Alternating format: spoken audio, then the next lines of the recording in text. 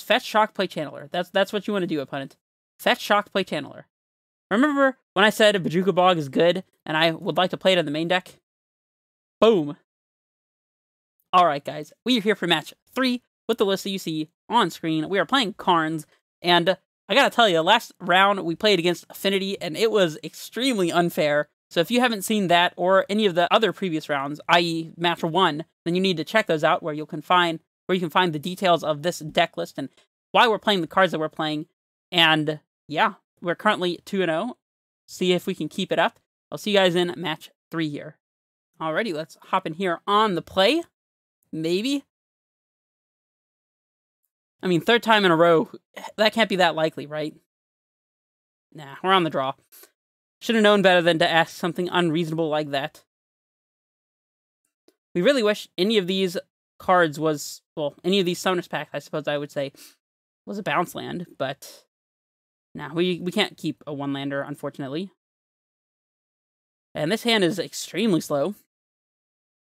We play Tolaria West, Forest, or Misty Rainforest, depending, and then play a turn 3 Dryad.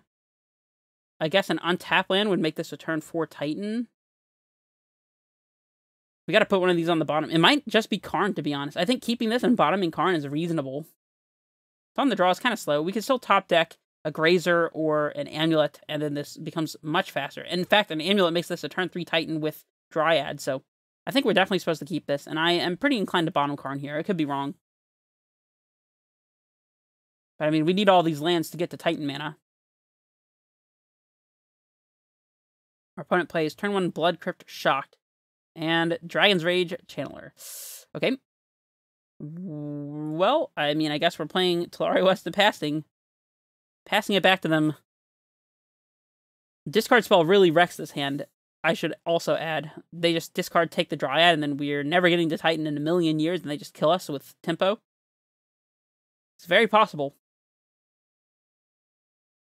You know, actually, Explore would be a pretty good top deck here as well. Having something to do on turn two here to help us accelerate a little bit without losing cards. Explore seems very good in this type of matchup. A second Channeler. I don't know if I should be as afraid of that one as the first or not, because it it helps them get Delirium online faster thanks to the Surveil. But, uh, and they do have a discard, so three Verdant Catacombs, huh? They discard Inquisition. Well, they couldn't have known that their Inquisition was going to be dead since the Thoughtseize hadn't resolved yet, but they're going to be really glad, really glad that they put that Inquisition in the yard. All right, let's just top deck Explore. No big deal. Explore. Amulet. I'll take that also. We're playing it so our Amulet doesn't get discarded. And I guess we play the Misty, so we could potentially transmute West next turn if we wanted to. We can fetch for Breeding Pool, of course. And then if our opponent plays Basic Swamp Blood Moon, oh boy, we'll have a Basic Forest. Look at us. Tarfire. Interesting. We'll yield to these Surveils. We're probably about to take a huge chunk. It's in Sorcery Land Tribal. Yeah, we're about to take six. They have mainboard Lurrus. Intriguing. Very interesting.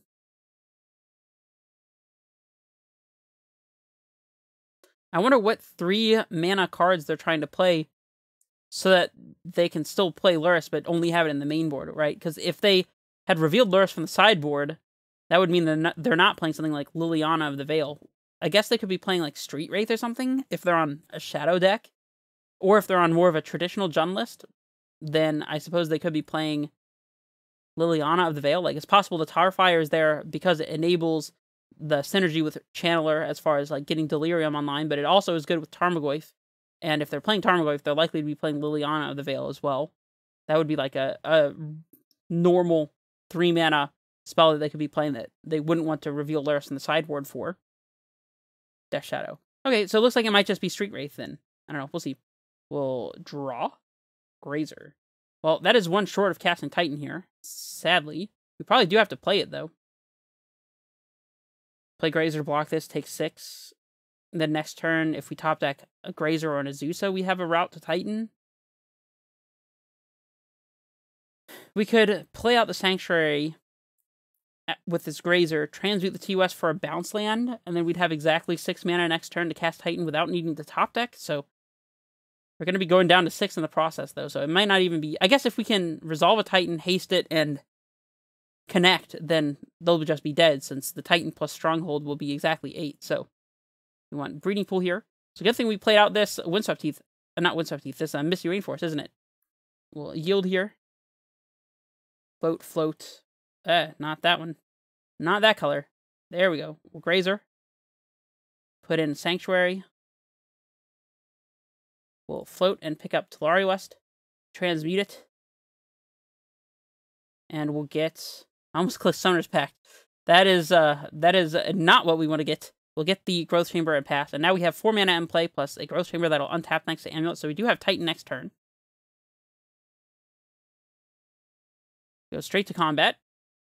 Not a bad sign. Definitely not a bad sign. And they don't have any creatures up to block, so hopefully they don't have a second shadow or something. Just pass. Just pass. You know, you know you just want to pass. Tarmogoyf. That's not passing, opponent. That is oof. That is the opposite of passing. Alright, we'll draw. Explore. Interesting. I guess we lead on that in case we hit second amulet. It won't stop us from casting Titan. Okay, that one's not great. We don't have mainboard Bog, so we can't turn their channelers off and shrink their Goyf. This is exactly the kind of matchup that I was afraid of with not playing Bog in the main. So we play Titan, get Radiant Fountain, and die. Go to 8, block this, take lethal. We haste attack.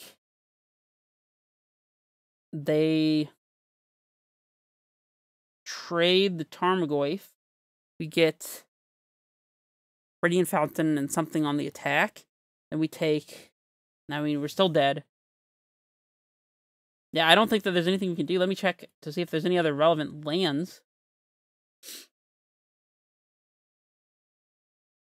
No, I, I think that we're actually just out of it. Yeah, there's nothing we can do here. Well, let's not even show them. How about that? Go to sideboard. All right, against Death Shadow, that is the kind of matchup where you want to sideboard out Karn, I think. Because, I mean, especially against the blue Shadow decks, you just get your Karn Stubborn denied. Against Jund, I guess you can top deck a Karn and minus for explosives, perhaps, but I think it'd probably be better to just draw the explosives, as you might be dead the turn after you play your Karn, expecting it to do work. Golos seems very good here, and so does Wurmcoil, just having extra threats to play through discard spells. Bojuka Bog is obviously going to be useful here. Tormod's Crypt, I don't think we want to waste a card for the effect, though. Do we want Dismembers? They hit Channelers, they hit Lurrus, they hit small Tarmogoyfs, potentially. I feel like they're close to good enough. They might even be playing Dark Confidant, so probably worth it. Grazers are not great. They do take a chump block, and they help us play around Liliana the Veil if our opponent has it, but they also put us down a card, so I don't know. I'm not super sold on Grazer. We don't want Cavern here. We could trim one Summoner's Pact as well, just so we don't have to tap out, which I don't think is bad, although having live top decks for Titan is relevant. But regardless, I think this is fine. I don't see anything else we'd want to change. We don't want to we don't really want a Pithing Needle, so be on the play. I mean, again, we have a turn three Dryad, turn four Titan kind of hand, but uh, double discard spell wrecks this. Not doing anything until turn three is a little better on the play than it is on the draw, but I mean, if our opponent kills our Dryad, we're not doing much because our Titan just enters play and what gets Bojuka Bog and Radiant Fountain, I guess, or Bojuka Bog and Tolaria West, and we don't even have the blue to transmute. I think we kind of have to mulligan that. Well, this is why you mulligan. We get a turn three Titan with double amulet, assuming that we don't just get wrecked by discard spells. So we definitely keep this. I think we actually want to bottom the forest here.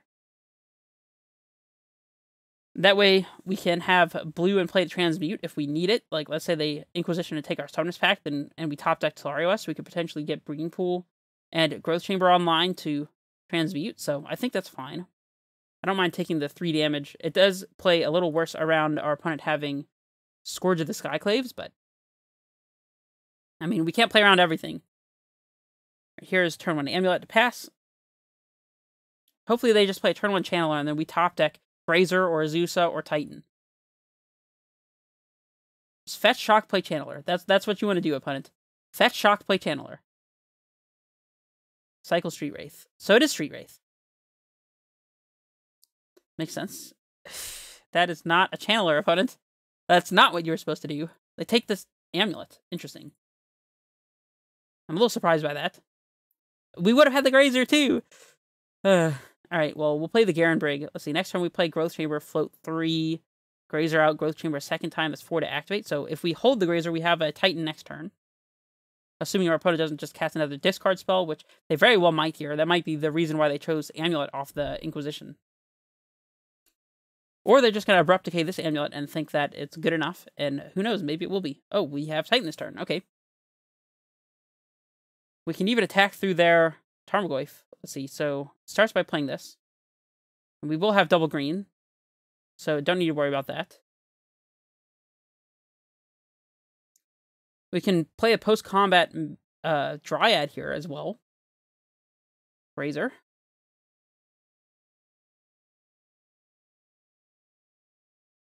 Float, activate, pick up do we just want... I guess we're going to need to pay for Pact, so we want to leave as much mana in play as possible. In that case, I'm picking up the Garen Brig, I think. We'll cast this. Get Titan. Play Titan. We'll hasten attack because it's free.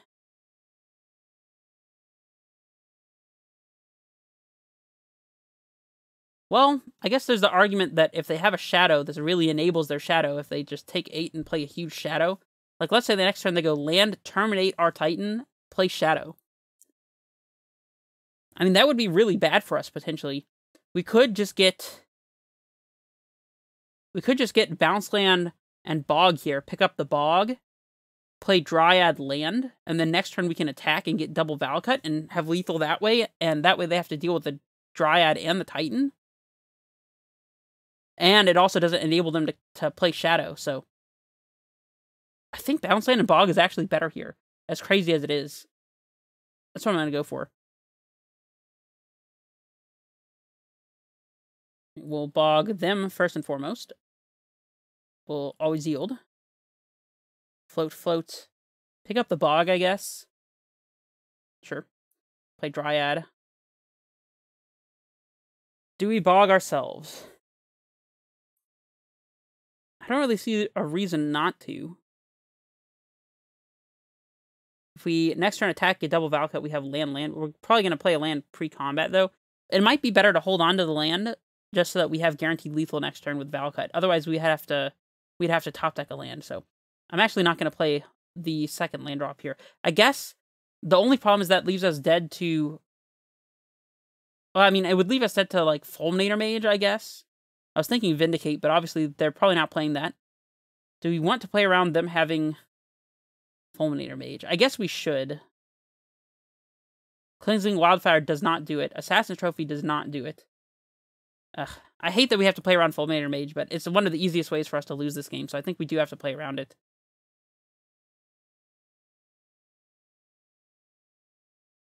Little zero one Goyf. Remember when I said Bojuka Bog is good and I would like to play it in the main deck? Boom. Although, to be honest, Grazer kind of stole the show there by playing the Titan on turn three. Alright, so... Yeah, I don't know that I want to change much. Dismember is still looking not that great here. They could also have Dauthi Voidwalker, though, so I think we probably want Dismembers. If not specifically for that card, because that card is bonkers against us. I think we just run it back.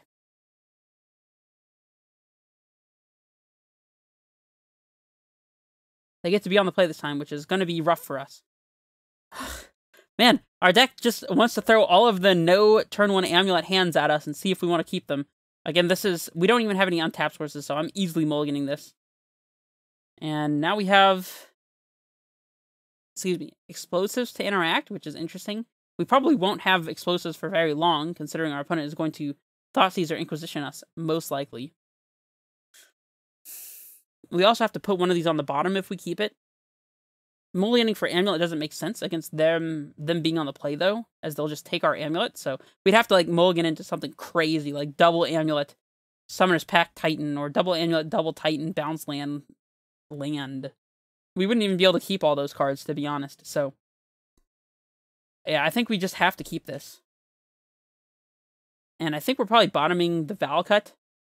We want to keep our interaction. We want to keep our Titan. I mean, we could we could bottom the Titan and either transmute for a Titan or hope to naturally top deck a threat. I don't know. We're more likely to draw lands, though, I think. Considering our deck is like half lands, so probably better to bottom the land. Even if it is a natural Valakut, you know. Because, like, our Dryad is just not going to survive. It might not ever hit the table, depending on if our opponent has a discard spell or not. They lead on Bauble, targeting themselves, and they choose to fetch because they don't want to draw the card that they saw, or they would prefer to play a turn one card instead. Oh, they have Street Wraith as well, so they did not want to draw that card. They bobble us, okay, and here comes a discard spell. Now that they have perfect information, exactly Inquisition, probably taking explosives. I would think, unless they have no answer for Dryad. So if they take explosives, we should assume that they have a way to kill Dryad or another discard spell to take Dryad. Interesting.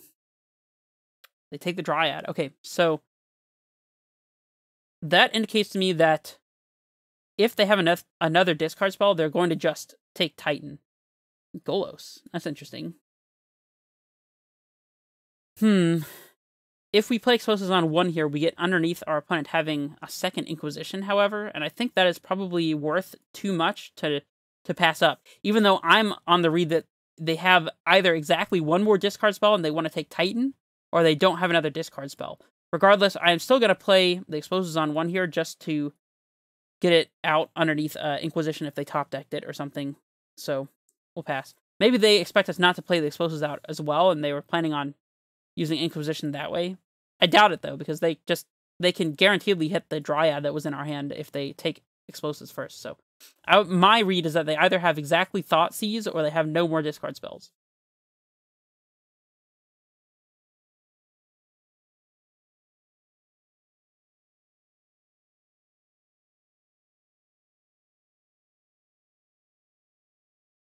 Our opponent has put themselves to 10. I would not be surprised if their turn this turn was play Death Shadow as a 3 3, Thoughtseize you. Or in the opposite order, Thoughtseize you, Death Shadow. Or they just pass. That's that's cool too, I guess. Uh yeah, we'll play the T West out here. I guess if we played a bounce land, we could pick up the breeding pool and have a turn three Dryad if we top decked it. That might have been better. They didn't do anything either. There's a Thoughtseize. Interesting. So either they did have it and didn't play it last turn, or they just top decked it. So Golos looking like a nice little intermediary threat here. Loving it, loving it. They probably have to take Titan regardless, I would think. Unless they're just going to double Thoughtseize us this turn. They take the Golos. Okay. Second Thoughtseize? No? Just trying to kill us before we get our mana online, I guess. We're at six. No threat. What is going on? Okay. Amulet. Yeah, I mean, we are definitely playing that. And we'll play, I guess, Sanctuary, as it's the most useful one to have in play color color wise. The white is unique. The red is not particularly, since we can always search for a Valakut. And in fact, we might want to do that anyways. We'll pass. I guess they might have a shadow, but they don't want to commit it into a known explosives.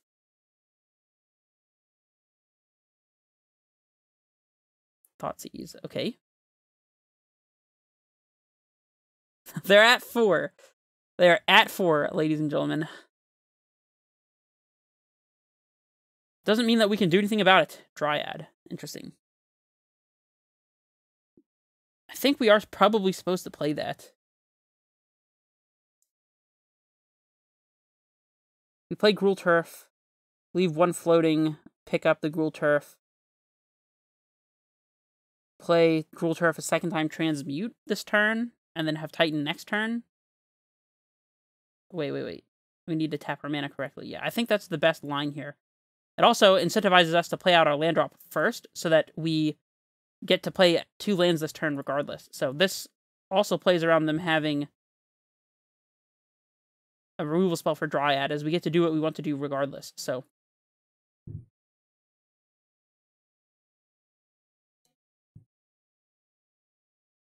it doesn't play around Kroxa or Kolaghan's Command or discard spell to transmute now, but I don't think we really have a choice. So we can float this for a blue using the Dryad ability, and we'll pick up Bounce Land again. And we'll transmute, set up the Summoner's Pact, and force our opponent to have something. Pass. We have Titan next turn with Dryad in play. I mean, the Dryad is a pretty good threat by itself. It's already half their life total as as of right now, so it didn't do anything on our end step either, so not looking great for them. Hopefully they have another discard spell. We could have left the Gruul Turf in play and picked up the Breeding Pool so that we could pack in response if they did have discard spell, but whatever. Alright, so there's no sense in playing out the Saga first here as it makes a trigger anyways, so we'd rather just float the white mana so we can get Valakut and Slayers. That way we are opposing lethal in several different ways.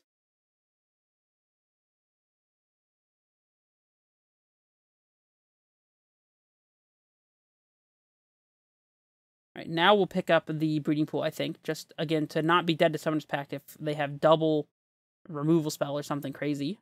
We get the Primeval Titan. Leave the white floating. We get Slayers and Valakut.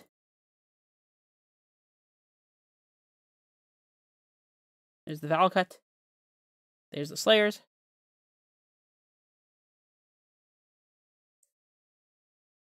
Now, if they trophy the Titan, they're still taking two and potentially dead to Dryad next turn, so. And if they have Dismember, and they were planning on killing the Dryad if we were going to try to lethal them with just Valakut, now they have to also have an answer for the Titan. They could dismember the Dryad, taking two, and then trophy the Titan and still be in the game. They also have Unholy Heat. That works. All right, I guess we could have hasted the Dryad there and forced them to heat the Dryad. That would have been an interesting play. no, I meant to swing for two. Oh well. That's really annoying. Well, we still have Urza Saga for additional threats here, so we're not doing too, too bad. We'll go ahead and pay.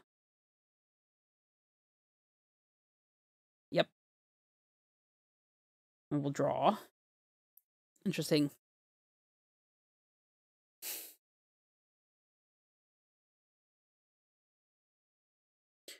Well, we probably have to blow up the one drops this turn. We can't let them untap with Shadow. I guess we could play Land Land Grazer, block the Shadow, and then pop Explosives on end step so they can't just have a second Shadow as a blocker.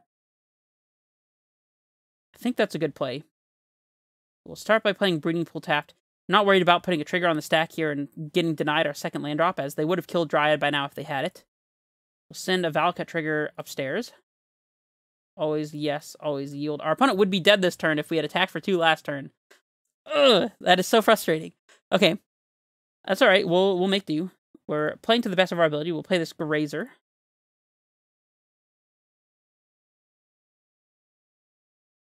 And we'll pass. Nope. We can trump the Death Shadow. And if they do have like Temur Battle Rage or something, then we can just pop the explosives. But otherwise, we pop explosives on end step. And next turn, even if they have exactly one blocker, we can attack with both creatures, and whichever one they don't block, we stronghold in order to get lethal damage through. So I guess that doesn't work if we block with the Grazer, though. Are we supposed to just take 12 here and go to 5? I don't think that's crazy. That gives us two lethal attackers.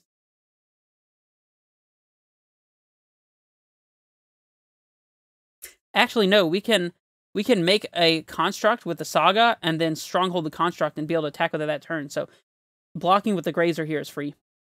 Assuming they don't have a way to kill the saga. And I mean, yeah, they still need a way to answer Dryad and a way to kill Saga, so right, well we'll pop explosives here. No Temur Battle Rage for you, opponents. We we didn't forget that we have explosives in play.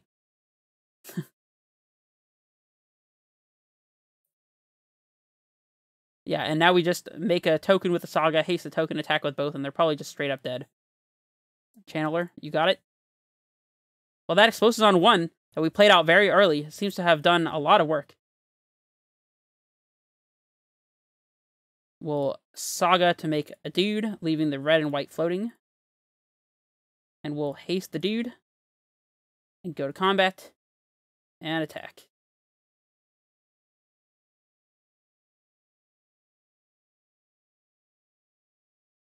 We drew the land for a lethal Valka trigger, I now realize, but I mean, obviously we didn't need it, so whew. Close nail biter match there. Way closer than it should have been, considering we missed that swing for two, but regardless, we managed to pull through with some tight play. So, anyways, we're currently 3 0 with Karn, and we have won at least one match off the back of Karn, I would say.